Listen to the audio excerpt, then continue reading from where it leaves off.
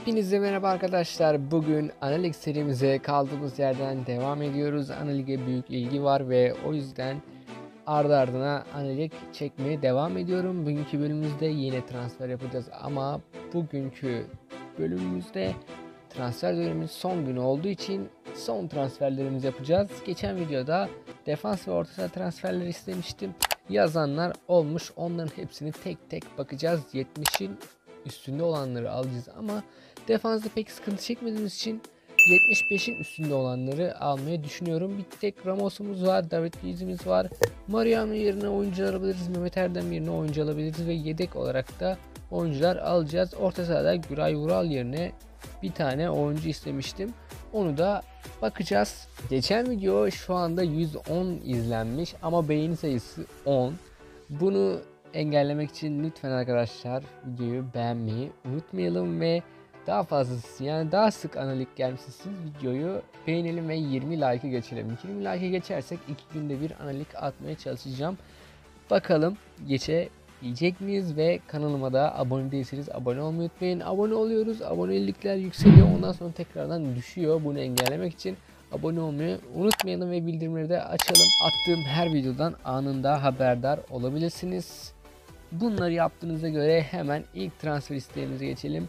Kitap Okuyorum adlı kanaldan De Jong, Pastore ve Arthur isimleri gelmiş. Bunlar orta saha. Hemen ilk baştan bir De Jong ile başlayalım. E, büyük ihtimal Barcelona'daki De Jong'dur. Orta saha diye alıyorum. Normalde forvet olan ise almam. Forvetimiz çok. Büyük ihtimal orta saha olanları De Jong'u hemen alalım. Bu buradaki transferlerin hepsini alacağız. Bizdeki oyunculardan göndereceğiz. Diğer sene ise yani bu sezon bitiminde bir tane değişiklik yapmayı düşünüyorum. Hatta ee, Ramazan demişti. Yani Ramazan demiş büyük ihtimal İngiltere Ligi'ne geçelim demişti. Ben de öyle düşünüyorum. Neden? Çünkü çok kolay oluyor ama bunun için ana ligimizi sıfırlamamız lazım. O yüzden İngiltere'ye geçmek istiyorsak onu artık diğer bölümlerde bir, bir şey sonraki yaparız. transfer isteğimiz ise Pastore. Roma'da oynuyormuş. Orta saha rolünde Pastore'yi de hemen bir teklif yolluyoruz. 42 milyon euro diyor Pastore'ye. 39 vereceğim. 38,5 veriyoruz ve Pastore gelmiyor.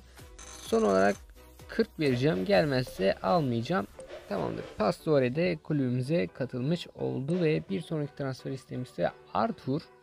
Arthur da Juventus'ta 82 overall olarak Arthur'u da almış bulunduk. Şimdi Umut Kaçar'ın transfer istekleri olarak Garay ile başlıyoruz. Sol bekmiş. Tam da ihtiyacımız olan yer sol bek olarak Garay'ı da hemen bir teklif bulunuyoruz ve Garay da direkt kulübümüze katıldı.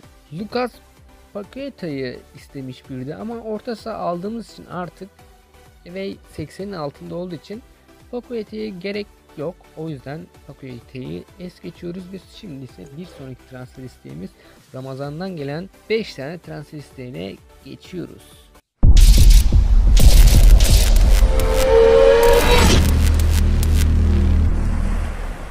Malong Sar yazmış ama şimdi burada bir sürü Sar var. 4 tane Sar var.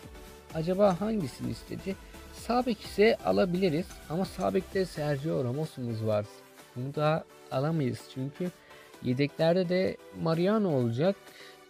Bir tane sol bek eksiğimiz olacak. O yüzden bu Malong Sar büyük ihtimal budur ya. Bunu alalım. Sağ bek nasıl olsa sağ bek olan Sar'ı alıyorum. Şimdi ise bir sonraki transfer isteğimiz Tomori'ye geçiyoruz. Tomori'nin gücü 73 olduğu için bunu almayacağım çünkü artık 80 üstünde oyuncular alacağız. Şimdi ise Danilo var. Danilo sağ bekti galiba değil mi? Evet Danilo sağ bek. O, o zaman sarı sol beki yedek olarak alırız. Danilo ise sağ beki yedek olarak alırız. Danilo'yu da kadromuza katalım. Danilo 40 milyon euro.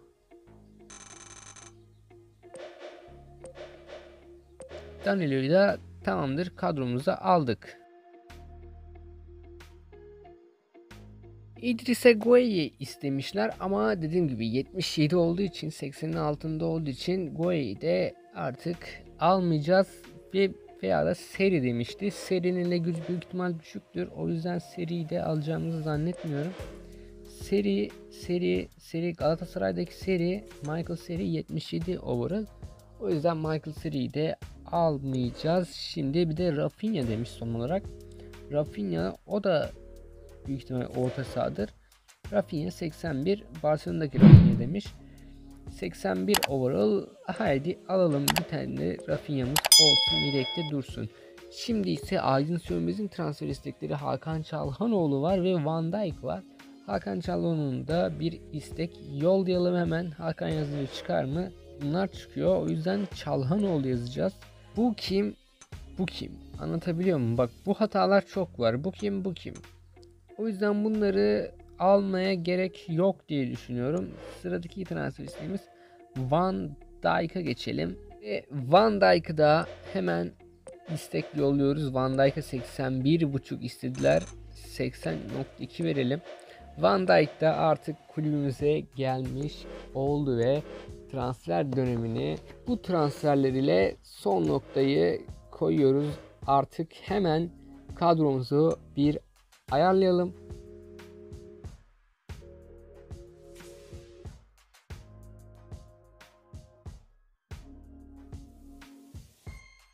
Kadromuz sol tarafta gördüğünüz gibi şimdiki maçımız ise Ziraat Türkiye Kupası'nda ilk maçımız Kayseri Spor ile olacak ve bu maçtan sonra transfer döneminin son noktasına geleceğiz. Transfer dönemimiz kapanmış olacak artık ta ki yaz transfer dönemine kadar olan zamanda bu kadromuz ile oynayacağız. Şimdi Ziraat Türkiye Kupası'nın ilk turunda Kayseri Spor ile karşılaşıyoruz ve haydi bakalım maça Kayseri Spor başladı. Kanalıma abone değilseniz abone olmayı unutmayın diyorum ve videoyu da beğenmeyi unutmayalım. Ve PES Club Manager serisinde ufak bir ilgi gösterirsek çok güzel olur diyorum. Haydi bakalım bir orta. Oradan Van Dijk gelişine. Şimdi ben çoğu maçları atlayacağım geçir artık kendim de yapmaya başlayacağım artık. Önemli maçları sizlerle beraber oynayacağız. Ziraat Türkiye Kupası'na pek ihtiyacımız olduğunu sanmıyorum. O yüzden Ziraat Türkiye Kupası maçlarının geçmeyi düşünüyorum. Ta ki yarı final, finale gelesi kadar. Ama lig maçlarında şu anda oynamak zorundayız. Lig maçlarında geçtiğim için şu anda ikinci sırada filanız. O yüzden onu hemen puan farkını açıp geçmeye başlayacağız. Şimdi bir orta İbrahimovic. Zlatan İbrahimovic atıyor ve 1-0 öne geçiyoruz. Kayseri Spor karşısında. Zlatan yine kendisini konuşturdu. Formu numaralarını da yazmışsınız. 9 diyen var, 10 diyen var, 7 diyen var, 21 diyen var. Aklımda olan bunlar. Ama benim de aklıma yatan ya 10 numara ve veya da 9 numara. Şimdi Musa Sov, Musa Sov orta Zlatan 2-0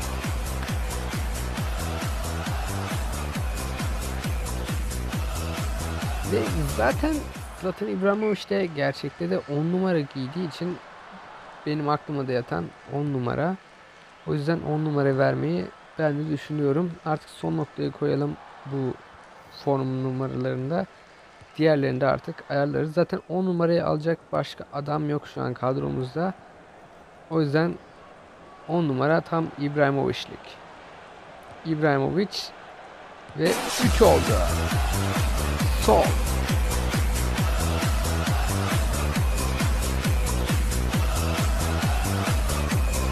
25. dakikada Musa Sov ve Sov da 55 numara giyiyor ya.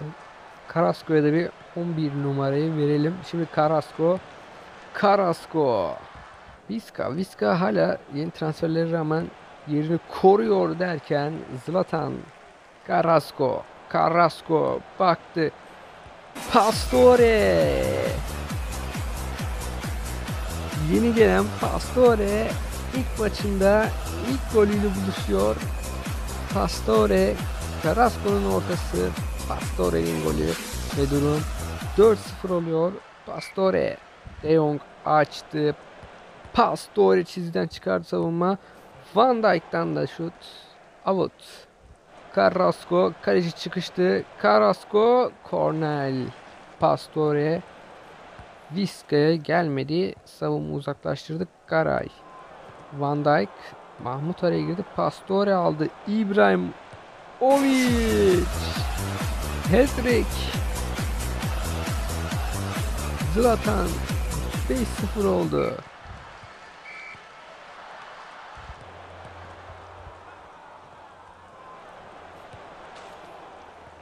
Ve bu gol kaçtı. İnanamıyorum. Tekrar izliyoruz. Carrasco. Musa Sol fantezilik şey deneyeceğim direkten döndü. Orta yerine şut vurdum ama top direğe nişan aldı. De Jong'a doğru. De Jong'dan David Luiz'e, David Luiz'den İbrahimovic'e dönemedi İbrahimovic. İbrahimovic ve harika bir gol. Pastore'nin orada topu alışı İbrahimovic'in de direkt vuruşu güzel bir gol. 6 gol 6-0 oldu. İbrahimovic'in ise dördüncü golü oldu bu. Şimdi Musa Sov. Musa Sov bir şut vurdu o da. Kaleci Carrasco İbrahimovic. Beşinci golü. Tekrar Musa Sov aldı. Musa Sov vurdu direkten döndü. Şimdi Carrasco. O da golle buluşuyor. Ve durum 8-0 oluyor. Tepe Spor Kayseri Spor karşısında Ziraat Türkiye Kupası birinci turunda 8-0 önde. İbrahimovic'e bir pas. İbrahim Ovic 9 oldu. İbrahimovic'in ise 6. golü oldu. 75. dakikada Zlatan İbrahimovic çifte hat-trick yapıyor ve tarihe adını tekrardan yazdırıyor. Zlatan Pastore uzaktan kaleci. Dakikalar 90 artık maçta son anlar derken maç bitiyor ve maçı 9-0 gibi tarihi bir skorla bir üst tura adımızı yazdırıyoruz ve maç adımı her zamanki gibi Zlatan İbrahim Oviç oluyor. Ve artık transfer dönemi kapandı ve önümüzdeki haftaki maçımız Galatasaray ile olacak ve Galatasaray şu an 8. sıradaymış. Transfer sezonu kapandı. Süper Lig'e gelen transferler İbrahimovic ile rekor kırmışız. Sonra Ramos, sonra Carrasco, Pastore, Courtois, Vizca. Ondan sonra 29.1 milyon ile Baka'yı almış Kayseri Spor. Ve diğer transferlerde bu şekilde artık transfer sezonu sona erdi. İkinci turda Ankara gücüyle eşleşmişiz. Ankara gücüyle de maçı atlarız artık. Neyse gençler bugünkü videomuzdan da bu kadarlık olsun. Dediğim gibi daha sık analik gelmişse videoyu beğenmeyi unutmayalım. 20 like'ı geçince daha sık analik gelecek. Onun da sözünü vermiş olalım ama 20 like'ı geçmek şartıyla kendinize iyi bakın. Bay bay.